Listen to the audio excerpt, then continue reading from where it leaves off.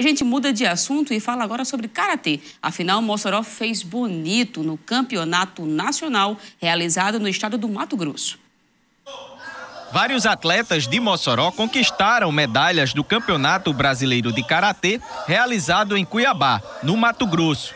No geral, foram 26 medalhas e muitos desafios superados. Gratificante, né? Porque a gente treina essas crianças, elas se dedicam de corpo e alma.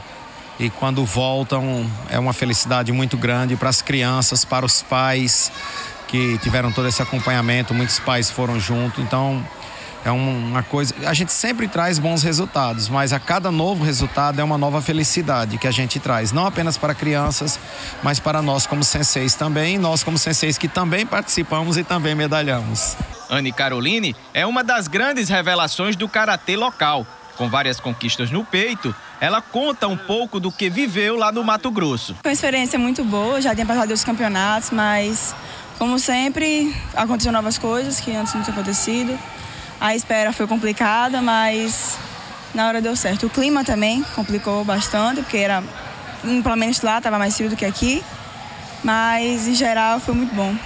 O maior desafio que você enfrentou nessa preparação e, claro, chegando lá na competição?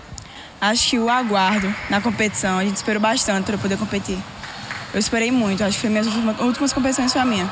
João Lucas é da nova geração e logo nos primeiros passos dentro do esporte fez bonito, conquistando uma medalha de ouro e outra de bronze. Foi muito boa. Ganhei quase de todo mundo, só uma pessoa me derrotou no, na final. Você ganhou medalha de ouro e medalha de bronze. Me fala um pouquinho da medalha de ouro e depois me conta como foi a medalha de bronze. Da de bronze, acabei ficando em terceiro lugar nós. A de ouro, aquele que derrotou na final, derrotei ele. Ganhei, tirei ouro.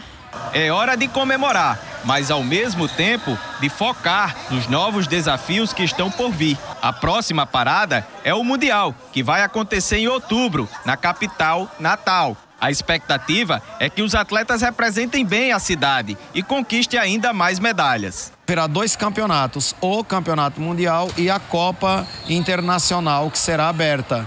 Então, como é pertinho e vai ter tanto o aberto e o Campeonato Mundial, só participarão os alunos que foram selecionados no Campeonato Brasileiro. Mas a Copa Mundial é aberta. Então, eu creio que nós levaremos uma representação bem maior. Estamos aí na expectativa de levar em torno de 80 a 100 atletas para a Copa. Né? E os que participaram do Brasileiro, todos foram classificados para o Mundial. A delegação contou com o apoio de torcedores e torcedoras bem especiais.